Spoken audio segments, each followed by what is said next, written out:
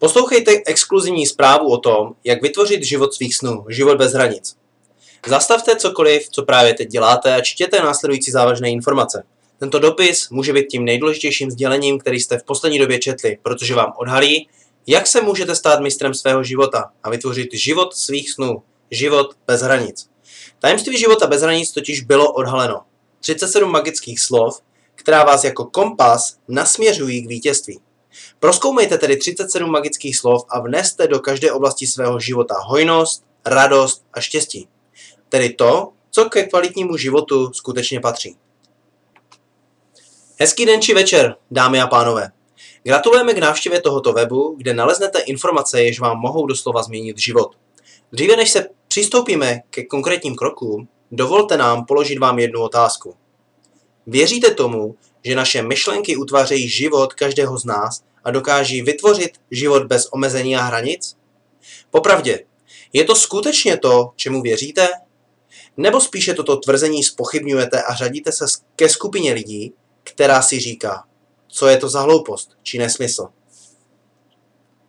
Popravdě, měli byste tomu věřit, protože způsob, jakým myslíte, vaše zažité pohledy na různé věci či situace, přesvědčení, kterých se držíte, dokonce i to, že něčemu věříte či naopak nevěříte, to vše ovlivňuje vaše každodenní rozhodování a následně pak vaše chování a jednání. A v důsledku toho všeho samozřejmě i vaše výsledky. Tedy zda v tuto chvíli cítíte, že se máte skvěle, že na denní bázi zažíváte radost, že se těšíte na nový den, protože se těšíte na to, co nového uh, další den přinese, že jste nadšení tím, co můžete v průběhu dne dělat, že se těšíte dobrému zdraví a že se cítíte dostatečně odmění, uznávání a milování.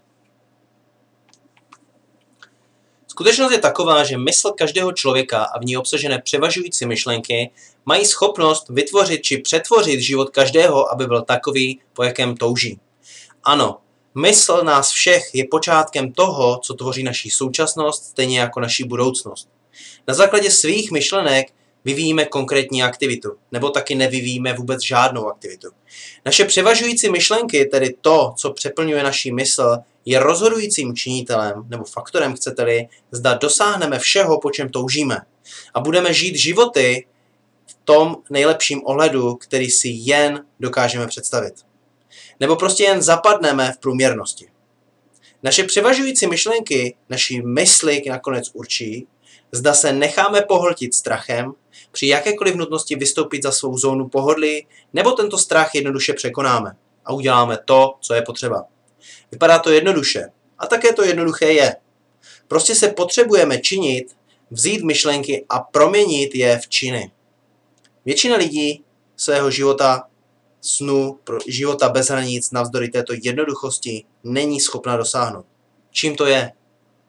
Pokud chcete znát odpověď, běžte pod toto video, klikněte na odkaz, který jsme tam umístili a běžte si přečíst celý článek, který jsme pro vás vytvořili.